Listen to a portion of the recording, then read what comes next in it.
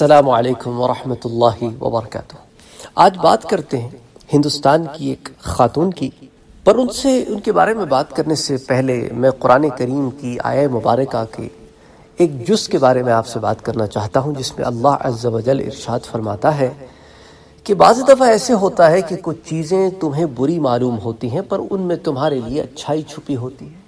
اور بعض دفعہ بعض چیزیں تمہیں اچھی معلوم ہوتی ہیں، پر ان میں تمہارے لیے برائی چھپی ہوتی ہے۔ کہ ایسا ان تک رہو وہ خیر القم تم کچھ چیزوں سے کراہیت رکھتے ہو، پر وہ تمہارے لیے اچھی ہوتی وہ آسان تو حب و ہوا شر القم اور بعض چیزوں میں تم محبت کا اظہار کرتے ہو، پر ان میں تمہارے لیے شر چھپا ہوتا ہے۔ اسی طرح کا ایک واقعہ اما پریمان کے ساتھ پیش آیا، ساؤتھ انڈیا میں۔ ان کی شادی ہوئی۔ انیس سال کی عمر میں ایک اور بندے سے جو خود چھبیس سال کا تھا۔ اس سے پہلے کی زندگی بھی ان کی کچھ اچھی نہیں رہی۔ سنگل پیرنٹ ان کے جو والد صاحب ہیں، انہوں نے ہی زیادہ تر ان کی ٹیک کیئر کی کہ آٹھ سال کی عمر میں ان کے گھر کے معاملات کو جس طرح بدلے، جس کی تفصیلات میں میں نہیں جانا چاہتا۔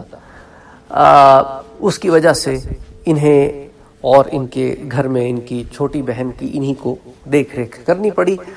بہرحال انیس سال کی عمر میں ان کی شادی ہوئی، جس بندے سے ہوئی، وہ ان میں زیادہ انٹرسٹڈ نہیں تھا and he was suffering from some disease tuberculosis اور uh, وہ زیادہ تر وقت گھر سے باہر ہی گزارتا تھا اور شادی کے بعد انہیں پتہ چلا، وہ کہتا تھا کہ تم میری دوسری بیوی ہو، دراصل وہ ان کی چوتھی بیوی تھی یعنی وہ اس سے پہلے بھی تین شادیاں کر چکا تھا۔ بہرحال، اس کی lack of interest in her اور بہت ساری اور وجوہات کی وجہ سے ایک ان ہیپی میرج چل رہی تھی۔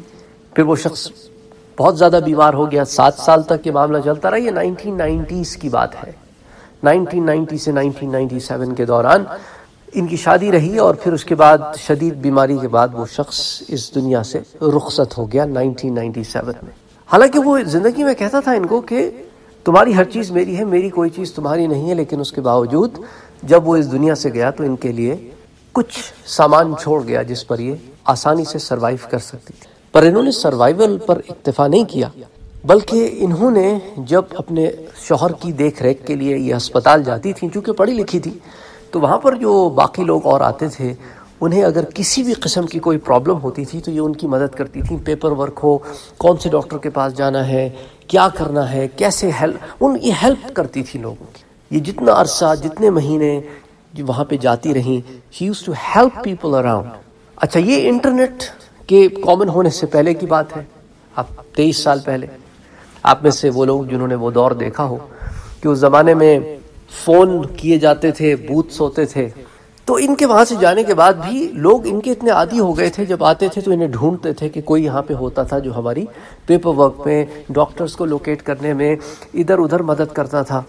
خیر، بہرحال somehow they figure out through the phone centres ان کا نمبر مل گیا اور they got in touch with ہر پھر دین شی ریئلائز کہ زندگی میں ان کو ایک گول ملا کہ میں کیوں نہ ان لوگوں کی مدد کروں جو اپنی مدد آپ نہیں کر سکتے اس کے لیے انہوں نے بہت بھاگ دوڑ کی کہ پتہ کریں کہ وہ لوگ جو انڈر پریولیجڈ ہیں جن کے پاس زندگی کے وہ سہولیات موجود نہیں ہیں جس سے وہ اپنا بلبوتے پر اپنا میڈیکل علاج کرا سکیں تو گورنمنٹ کے تھرو اگر کوئی امداد مل جائے، کوئی سبسڈریز مل جائے جس کے تحت ان کا علاج معالجہ ہو سکے، اس کے لیے انہوں نے اپنی طور پر بھاگ دوڑ شروع کر دی۔ سارے ملک میں گئیں، بہت سارے لوگوں نے، بہت سارے ہاسپٹلس نے انہیں سیریس نہیں لیا۔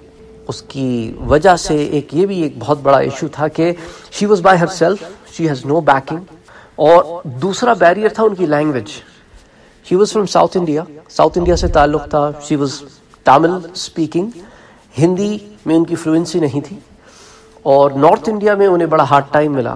پھر نان سیریس لیا لوگوں نے۔ بہرحال شی واز شی مینجڈ اس کے بعد آہستہ آہستہ کرتے رہے، کرتے انہوں نے اپنا ایک سینٹر کھولا۔ اس سینٹر کے تھرو انہوں نے لوگوں کی مدد کرنی شروع کر دی۔ سانتھی میڈیکل انفارمیشن سینٹر کے نام سے۔ دین شی ریئلائز کہ ملک میں ڈائلسس سینٹرز کی کا فقدان ہے، کمی ہے۔ تو انہوں نے ڈائلسس سینٹرز کے اوپر کام کرنا شروع کیا اور اپنا پہلا ڈائلسس سینٹر انہوں نے کیرلا میں تھرسور ڈسٹرکٹ میں کھولا اور آج اتنے سال گزرنے کے بعد ان کے بیس ایسے ڈائلسس سینٹرز ہیں اکراس انڈیا تو بہرحال آپ سے یہ ایک ایگزامپل شیئر کرنے کا مقصد یہ تھا کہ انہوں نے ہمت نہیں ہاری۔ اور ایک ایسی چیز جو ان کی زندگی میں نیگیٹو بن کے آئی تھی، اس میں ان کے لیے ایک پازیٹو پہلو یہ تھا کہ اللہ تعالیٰ نے ان سے ایک کام لینا تھا۔ ان سے ایک کام لینا تھا کہ انہوں نے غریبوں کی مدد کرنی تھی، آگے آنا تھا ایک اسٹیبلشمنٹ قائم کرنی تھی اور بہت سارے لوگوں کا ان سے کام ہونا تھا۔ تو کبھی ایسے بھی ہوتا ہے کہ انسان مشکلات سے گزرتا ہے اور پھر اس سے کئی لوگوں کو فائدہ ملتا ہے اور پھر اس کے اندر اس کو ایک سیٹسفیکشن کا عنصر ملتا ہے۔ اچھا ایک اور ایک بڑی زبردست بات ان کے بارے میں مجھے پتا چلی کہ اب جیسے کڈنی ٹرانسپلانٹ ہوتا ہے، اس کے لیے انہوں نے یہ کہتی ہیں کہ بڑا ہارڈ ٹائم ملتا ہے کسی کو کنونس کرنا کہ کڈنی ٹرانسپلانٹ کر دو۔ کہ بھئی کوئی اپنی ایک کڈنی کسی کو دے دے، بڑا ہارڈ ہوتا ہے ڈیسیشن وہ لوگ سٹرگل کرتے ہیں اٹس ناٹ ایزی تو انہوں نے اس کے، اس معاملے میں بھی یہ کیا کہ انہوں نے سب سے پہلے ابتدا کی اپنی کڈنی، اپنی ایک کڈنی انہوں نے ایک شخص کو دی۔ ٹرانسپلانٹ کی اس کو ضرورت تھی، وہ ڈائالسس پہ تھا اور شرط پہ دی کہ تم اس کے بعد جب صحتیاب ہو جاؤ گے تو تم محنت سے کماؤ گے۔ اور پھر اس شخص نے اس بات کو پورا بھی کیا۔ اور چند سال کے بعد وہ انہی کے پاس آ گیا اور وہ اب انہی کے لیے کام کرتا ہے۔ تو بقول ان کے کہ میں نے تو یہ مدد کی اس کی انسانیت کے ناطے، لیکن اس کے ریٹرن میں مجھے ایک بھائی جیسا شخص میری زندگی میں مل گیا، ان کے دھرم میں اس چیز کی اجازت ہے۔ اسلام میں نہیں ہے۔ منہ بولا بھائی کا کانسیپٹ اسلام میں نہیں ہے، لیکن بتانے کا مقصد یہ ہے آپ کو کہ اس ایگزامپل کے تھرو کہ ہماری زندگی میں، ہمارے جیون میں، ہماری لائف میں ایسے واقعات آتے ہیں جو لائف چینجنگ ہوتے ہیں۔